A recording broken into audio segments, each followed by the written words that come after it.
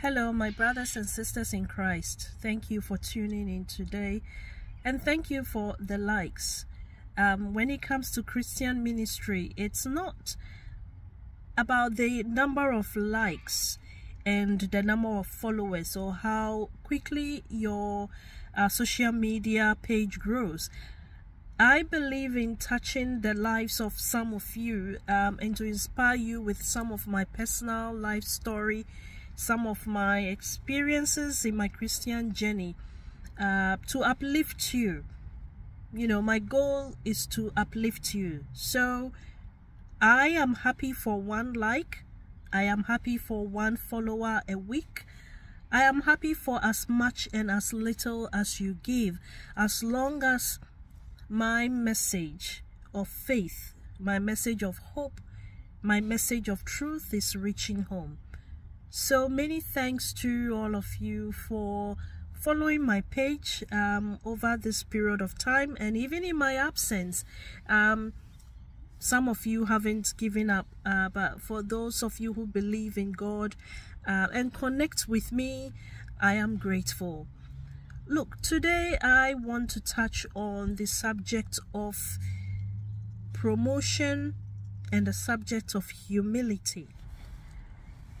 Today I looked at the book of Matthew, chapter 23, verse, um, and it inspired me to share this brief message. Um, and this message is about wanting to grow, wanting to be exalted, seeking promotion or you know everyday growth in your life um and the book of matthew tells us that whoever seeks to exalt himself shall be abased.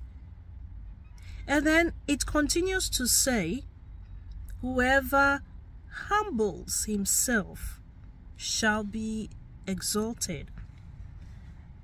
I couldn't tell you why I felt connected to this Bible verse, uh, but yet again, I want to challenge your Christian faith. Um, to look at the humbling aspects of life. Sometimes the, the little things of life is what we need to build the building blocks to success, to achieve the heights that we are seeking. It all starts by being humble, by looking at the little things, by singing praises about the least of them all. Um, and I want to encourage you if you are a sister like myself, um, if you've gone through some life challenges and praying to God for that promotion, for that business growth, for those opportunities um, the book of Matthew, in the way I understand it, is to start appreciating the little things because that's how God allows things to grow. When you exalt yourself, it's like filling the whole space, filling out your space, such that God is not able to fill you because you are already full of yourself, so to speak. But to humble yourself is to tell God, God, I leave the space for you to do your own thing. I trust that God, you can fill the space that is left above me, the space that is left around me, is for you to allow growth to happen. So let me say a short prayer with you. Father in heaven, I thank you in the name of Jesus. I thank you for sustaining our lives and I thank you for this moment to be able to share this brief word of God with my sisters and the brothers in Christ um, and those who believe in God or those who are seeking words of encouragement, uh, words of empowerment. Lord, I thank you for this platform. And I thank you for the amazing work that, Lord, you are yet to do in our lives within this space. And I pray and trust that, Lord, the petitions we have put before you shall be answered. And God, we are going to learn from the message of humility because it is through humility that, Lord, you are going to bless us. We thank you, Father, for giving to us even before we have asked. In Jesus' name. Amen. Thank you very much for tuning in today.